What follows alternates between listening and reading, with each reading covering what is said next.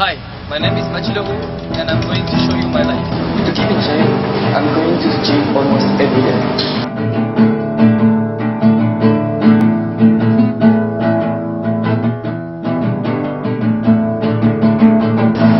When I was in France, I did triathlon.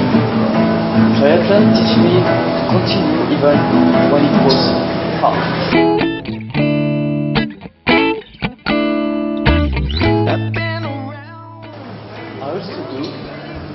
Collective like football.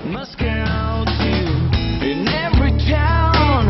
Some girls were pretty, but none of them to. You don't have to worry. I'm working on my first baccalaureate that teach me to know how to organize my time. My first language is French, but I speak English because I'm going in an international school. At the moment, I live in China. That is my first expatriation, but I already traveled a lot that makes me curious about the world. Put all your faith in me, you'll see how happy we can be. I like being with my friends, do sport together, especially football, hang out, do some activities together, like But not like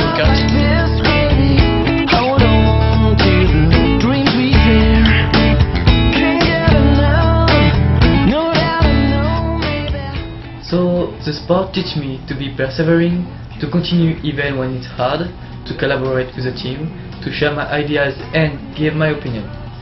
To work independently on my French baccalaureate allows me to organize my work, to travel, help me to improve my English and increase my curiosity on the world and the different cultures.